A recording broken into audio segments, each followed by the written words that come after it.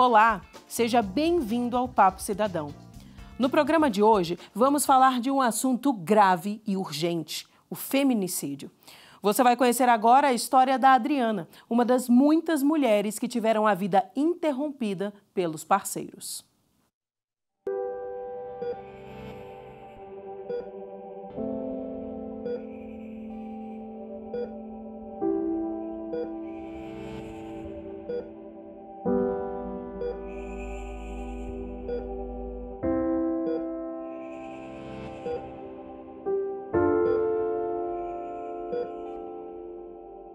O feminicídio é a morte violenta de uma mulher que está exatamente ligada ao sexo. É o menosprezo à condição da mulher, é a discriminação é, em relação à condição de ser mulher ou a violência doméstica e familiar. E é importante que se diga que muitas pessoas acham que o feminicídio é cometido somente é, pelo parceiro ou no meio, no ambiente doméstico. Na verdade, o feminicídio ele pode ser cometido até mesmo por um desconhecido. Minha irmã foi assassinada dia 29 de setembro de 2019.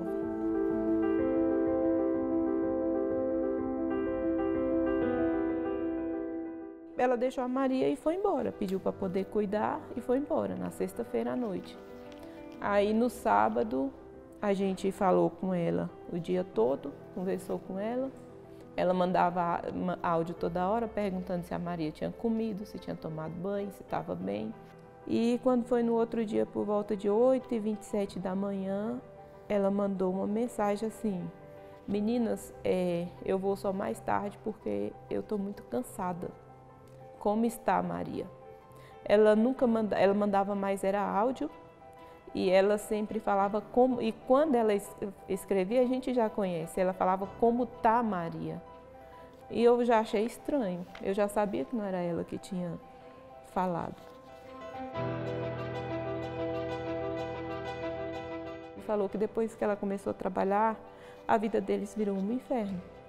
Aí eu já fiquei preocupada. Aí meu esposo falou: não, então a gente vai descer e vai ver se alguém abre lá para a gente tentar abrir a porta para ver o que está acontecendo. Aí falou, aí meu esposo subiu, quando chegou lá tinha um som ligado. Aí meu esposo desceu, foi lá me falar que tinha um som ligado, mas que preferia chamar o chaveiro porque ninguém atendeu a porta, só tinha esse som. Aí eles chamaram o chaveiro. Quando chamaram o chaveiro, eles abriu a porta, a casa estava toda arrumadinha, estava tudo no, no, lugar certo, né? Aí meu esposo olhou na cozinha, olhou na sala e foi e andou para o quarto dela. Quando ele chegou no quarto dela, ela estava esfaqueada. Nós temos diversas formas de violência contra a mulher. Algumas já conhecidas da sociedade, outras não. A exemplo da violência obstétrica, a violência política contra a mulher, o assédio moral, o tráfico de mulheres, são tipos de violência também contra a mulher. Mas temos a, a, a, os tipos de violência previstos na Lei Maria da Penha, que é a violência patrimonial, a violência física, a violência moral, a violência psicológica ou emocional.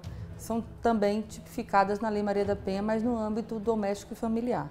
Muitas situações de violência, infelizmente, ainda não são identificadas pela mulher. Né? É aquela possessividade, aquele sentimento de posse que muitas vezes ela acha que é amor, que é cuidado. Né? Então, a restrição do convívio com a família, que muitas vezes acontece, o seu agressor restringir que ela vá ao encontro da família, que ela converse com amigas, que ela esteja no, né, inserida no meio social.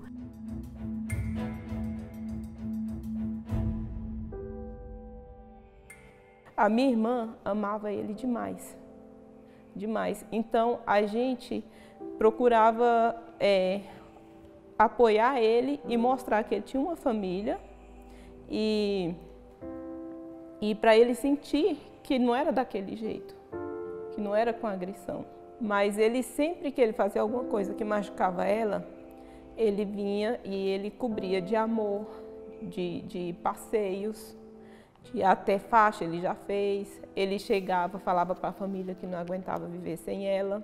E muitas das vezes, depois desse tipo de violência psicológica emocional, o agressor começa a avançar. E aí a gente chama aqui do, da fase da tensão, a fase das ameaças. E a mulher, mais uma vez, é, às vezes se sente até mesmo culpada, porque ele faz, o agressor faz com que a mulher se sinta culpada por aquela situação. E ela, mais uma vez, não procura ajuda, ela não denuncia. E aí ela entra para a fase já da agressão propriamente dita. E aí vem a agressão física, já, já passa avançada psicológica para a física, e se ela também não procura ajuda, pode terminar no feminicídio. Eu peço que a justiça traz ele preso para amenizar um pouco a dor da minha família. Minha família está sofrendo muito. Ele destruiu, não foi só minha irmã, ele destruiu a família toda. A minha família está toda destruída, toda. A minha família não está vivendo, está tá, tá vivo, entendeu? Mas a minha família está toda destruída.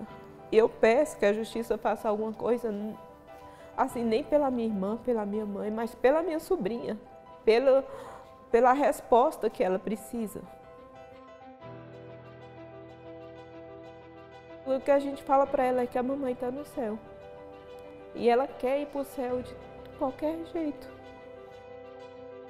Tia, me coloca no avião então, porque no avião eu consigo chegar no céu. Tia, me dá o número do Papai do Céu. Eu preciso pedir para ele voltar, eu preciso da minha mãe.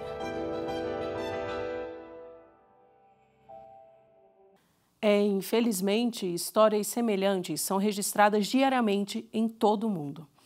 Depois do intervalo, eu vou receber a diretora de gênero do Fórum de Mulheres do Mercosul, Lúcia Bessa, e o promotor de justiça do Distrito Federal, Raoni Parreira Maciel.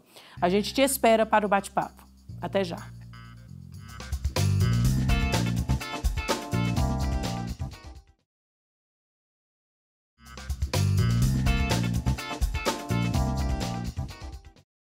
O Papo Cidadão está de volta e para falar sobre feminicídio, eu recebo a doutora Lúcia Bessa, diretora de gênero do Fórum de Mulheres do Mercosul, e o doutor Raoni Parreira Maciel, promotor de justiça do Distrito Federal. Sejam muito bem-vindos, é muito bom ter vocês aqui no Papo Cidadão. Nós é que agradecemos, Samanta, a honra é toda nossa. É um prazer estar aqui. Já para começar a falar sobre esse tema, é, eu gostaria que vocês me falassem qual a definição de feminicídio? Até para o pessoal que está em casa poder entender melhor. É, Samanta, é, o feminicídio ele foi criado pela lei é, em 2015 e o que, que nós, o que, que, o que, que se pretendeu fazer com isso? Que nós entendamos que o feminicídio é a morte violenta de mulheres pela simples condição dessa mulher ser mulher. Né? Então, hoje nós temos um índice de feminicídio crescente no nosso país e há quem diga que tem aumentado o número de denúncias. Eu também acredito que o número de denúncias tem aumentado, doutor, mas também creio que o número de violência tem aumentado contra as mulheres nesse país e de modo muito particular, e infelizmente, o feminicídio. Uhum. E a lei mudou uh, alguma coisa? O que, que a lei veio para mudar? É, eu, a lei, o que, que ela fez? Ela tipificou esse homicídio específico, que é o feminicídio. Né? Tem um homicídio e tem várias qualificadoras que deixam o homicídio mais grave por estarem presentes naquele crime. O feminicídio, a partir de 2015, passou a ser uma dessas qualificadoras. Então, a mudança em termos legais e jurídicos é essa. Por que, que ela é importante? Ela é importante, até a doutora falou, é porque daí a gente começa a conseguir distinguir esse tipo de homicídio, que é o homicídio da mulher por ser mulher, de todos os outros homicídios que acontecem. Essa distinção ela é fundamental para a gente poder estar aqui hoje sentado discutindo se está aumentando ou se não está, se continua o mesmo, para a gente discutir políticas públicas para enfrentar esse tipo específico de, de homicídio, é, para poder qualificar os agentes públicos para tratar esse homicídio como ele tem que ser tratado, por ser diferente dos outros homicídios. Porque eu costumo falar, doutora, que feminicídio sempre aconteceu. Sem né? dúvida. Sempre, as mulheres é. sempre morreram por ser mulheres. Eu atuo no Tribunal do Júri, que é onde a gente julga os crimes de feminicídio e de homicídio como um todo e desde 2012. Então, até 2015, já havia atuado em vários casos em que a mulher havia sido assassinada por ser mulher. Uhum. Mas a gente não tinha um tipo, uhum. então a gente não conseguia distinguir isso. Uhum. O operador do direito percebia que aquilo ali era um caso diferente. A gente até procurava instrumentos e ferramentas para poder tratar aquele caso porque ele era diferente, mas a sistematização disso, ela só é possível na hora que você cria o tipo, Com dá certeza. o nome e começa a tratar como algo diferente. Com certeza. E uma das coisas mais importantes, Samanta, foi que o doutor eh, Raoni colocou bem, é a questão da visibilidade Isso. desse crime e a partir da visibilidade, a efetivação de políticas públicas para enfrentar e combater esse crime. Né? Porque aí nós tiramos ele, não do lugar comum, mas de um, de um gênero, e aí a gente especifica. Isso. E ao especificar, é possível fazer políticas públicas específicas. Uhum. Inclusive, a lei ela trouxe alguns agravantes, não é? Mulheres grávidas ou uhum. quando o crime acontece na frente, por exemplo, dos filhos, Exatamente. né? No que, que esses agravantes também eles ajudam a não só prevenir, mas dar uma pena mais adequada, né? Quando os crimes acontecem com, com essas peculiaridades. É, senhora, é, para ser bem técnico, né, ela é uma causa de aumento. Né? Uhum. E ela é muito importante porque, e aí às vezes o advogado vai discordar de mim, mas ela é muito importante porque existe uma política de pena mínima no Brasil. E é uma política judicial. Então o juiz ele se vê obrigado, por causa da jurisprudência, na hora que ele vai fixar uma pena por um crime, seja ele qual for, e a gente está falando aqui do homicídio, do feminicídio, ele vai acabar parando muito perto da pena mínima. O crime de homicídio qualificado é de 12 a 30 anos. E a verdade é que a gente vai raramente encontrar um caso em que o juiz fixou uma pena acima de 20. Qual é a importância da causa de aumento? A causa de aumento ela incide no último momento da aplicação da lei. Quando o juiz vai fixar a lei, depois dele fixar todo o procedimento de trifásico de fixação da pena, vem a causa de aumento. E a causa de aumento é de um terço a um meio. Então, vamos supor um crime que ficou fixado em 15 anos. Mesmo que o juiz esteja aplicando a jurisprudência sem nenhuma crítica ao juiz, muito próximo da pena mínima, ele vai levar isso para 20. E saindo um pouco da tecnicidade aqui do doutor Raoni, sou advogado, mas sou é, extremamente é, ativista, militante, feminista e defensora dos direitos humanos das mulheres. E em relação a isso, quero dizer que essas qualificadoras são extremamente importantes também para dar a contraprestação devida ao agressor. É uma resposta imediata. Né? Então, o agressor tem que saber que, ao cometer aquele crime com as agravantes que ele assim o fez, ele terá uma resposta do Estado. E isso é extremamente importante. Extremamente importante. E eu queria é, sublinhar um, a última inclusão, que é aquela, o feminicídio cometido sob a vigência da medida de proteção. Uhum. É, foi incluído recentemente, se não me engano, em 2018. Foi. E ela é muito importante porque a medida protetiva é um dos instrumentos que o Estado tem para poder proteger a mulher sem necessariamente encarcerar o agressor. Porque a gente não pode encarcerar todo mundo. Né?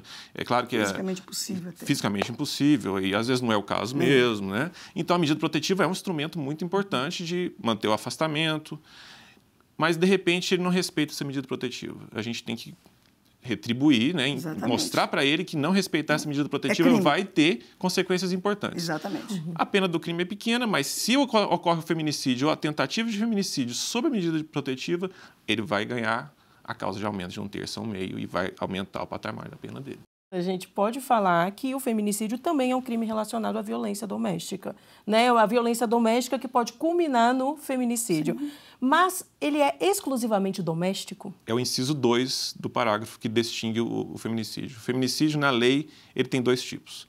Ele tem o crime cometido dentro do ambiente doméstico, uhum. que é o inciso 1, um, e aquele que não é relacionado à violência doméstica, mas ainda assim está tratando de violência de gênero, que é o inciso 2. O que, que acontece? A lei do feminicídio é de 2015. A gente tem aí quatro anos de aplicação dela. Uhum.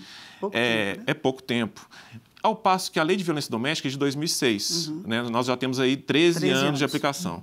Então, é muito mais fácil para o operador do direito identificar um caso em que a mulher foi vítima dentro do ambiente doméstico, porque você já tem uma jurisprudência de 12 anos, Exatamente. do que o operador de direito identificar um caso em que ela foi vítima de feminicídio fora do ambiente doméstico, e daí é uma construção de quatro uhum. anos. Uhum. Então, isso, é, eu acho que alguns casos, eu acho que alguns casos ainda estão passando desapercebidos, casos de feminicídio fora do âmbito doméstico ainda estão passando desapercebidos do aparelho judicial. Uhum. Embora, de fato, eu não sei a impressão da doutora, mas a minha impressão é de que no Brasil, por causa da nossa cultura ainda muito machista, é isso mesmo. A maioria dos feminicídios são cometidos dentro de casa por companheiros, é, por às vezes pais, por às vezes irmãos, porque existe ainda essa cultura de diminuir a mulher dentro do lar. Chegou uma pergunta aqui pelo Instagram, que é da Bruna Souza. Ela quer saber se uma mulher sofre agressão por um homem que não seja seu cônjuge ou companheiro, ela está amparada pela Lei Maria da Penha ou configura uma lesão corporal do Código Penal? Olha, eu a gente teria que analisar o caso específico. Né? É, a Lei Maria da Penha ela é mais restrita do que a lei de feminicídio, mas não exige que seja cônjuge ou companheiro. Uhum. Né? Ela trata de violência doméstica e familiar contra a mulher dentro do lar. Então, o irmão ele pode estar uhum. cometendo uma agressão que se enquadre dentro da Lei Maria da Penha. Um pai pode estar cometendo uma agressão. Um tio pode. Um vizinho também. pode também. Então, agora, o caso concreto é que vai dizer, né? Eu não posso aqui falar genericamente sempre vai ser, não não é qualquer mulher agredida que está amparada. Mas também não é tão restrito quanto dizer que é só o companheiro e o ex-companheiro, não. Ela tem um pouco mais de amplidão do que isso. Uhum. Nós temos mais uma participação que nós recebemos pelo Instagram, é do O Designado. Como ficam os transexuais? É, nós temos uma decisão bem recente, da, salvo engano, doutor, se eu estiver equivocado, o senhor me corrija, da terceira turma criminal terceira Câmara Criminal do, Tribunal de Justiça, onde é, a turma decidiu de, de modo unânime que uma tentativa de um crime específico contra o transexual, uma mulher transexual, sim, tentativa de feminicídio. Isso é um grande avanço. Uhum, porque antes não eram, a gente nem pensava em contemplar, né? Com certeza. Os transexuais nessa questão do feminicídio, né? É, a, a, questão, é, acho que fica dentro do gênero, né? Exatamente. É, e o transexual, ele dentro do gênero dele, ele vai ser respeitado de acordo com o gênero é, dele. De acordo com não é, não é um critério biológico, não, né? Não. É um critério sociológico. Sociológico, como eu me entendo. Isso, né? isso. A minha e, condição. Eu, eu acho que a, da doutrina é, é quase pacífico que o transexual está protegido, né? É, a gente teve um caso, dentro da, da, temática LGBT, a gente teve um caso recentemente em Santa Maria, que foi denunciado um casal de mulheres, e a mulher agrediu a, a companheira, e ela está denunciada dentro da lei de feminicídio, porque a justiça ela tem um critério que não é um critério estritamente biológico. Né? A justiça está tratando de proteger a mulher como gênero. Nós vamos fazer uma pausa na conversa, mas a gente continua logo depois do intervalo. Não saia daí.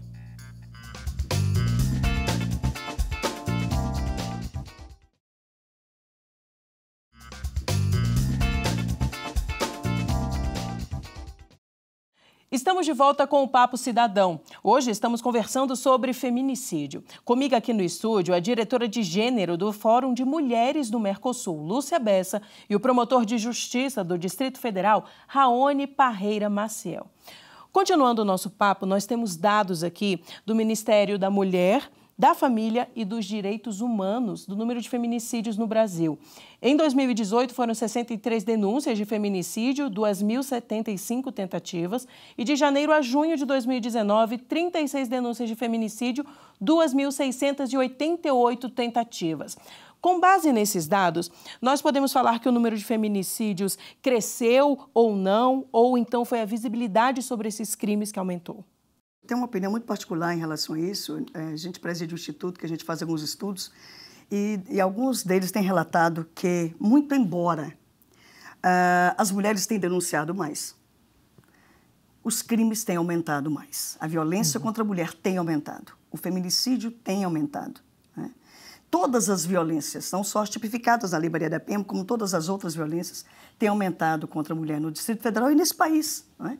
E o que me preocupa, é, é, Samanta, e me preocupa de uma maneira é, muito grande, é de que por que, que essa mulher não está denunciando? Por que, que essa mulher não procurou os equipamentos públicos? Falta de acesso? Falta de confiança? Falta de conhecimento e informação? Então, são, são situações que, que devem ser analisadas e que o poder público tem que estar atento e o poder público ele tem que entender que esse é um problema extremamente grave e, como grave é o problema, ele tem que ter ah, os equipamentos, os serviços e os instrumentos necessários para frear essa violência. Eu monitoro os feminicídios é, desde 2015.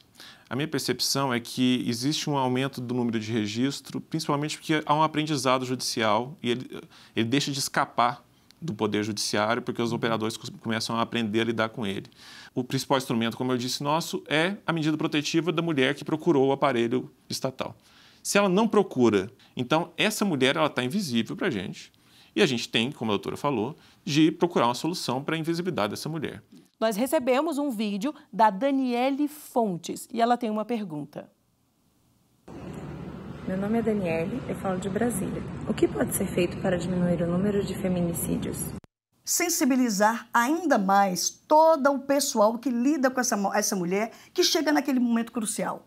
Né? Nós precisamos também de que os nossos meninos e as nossas meninas elas possam encontrar outros caminhos para dirimir conflitos que não sejam a violência. Nós temos que atacar ali no momento crucial, que é o momento da infância. Nós temos que dizer a eles que, muito embora eles vivam num ambiente de violência, muito embora eles vivam num ambiente onde o pai desrespeite a mãe e vice-versa, ele pode fazer a diferença. Ele pode ser diferente. Mas isso, hum, eu acredito que nós tenhamos que ter uma intervenção maior de todos os poderes públicos, todos eles, executivo, legislativo, judiciário e a sociedade.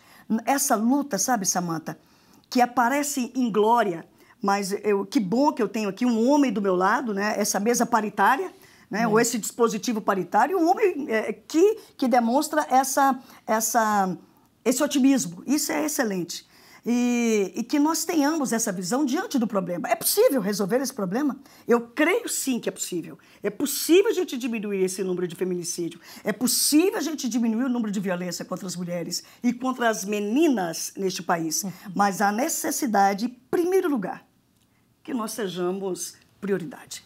Nós, mulheres, temos que estar no elenco de prioridade não só do governo federal, mas dos governos distritais e os outros governos estaduais. Uhum. Enquanto nós mulheres não formos prioridades, nós pagaremos o alto preço, né? Sim. E estamos pagando, doutor Raoni, com as nossas próprias vidas. Eu acredito muito, igual a doutora falou, em educação, sabe?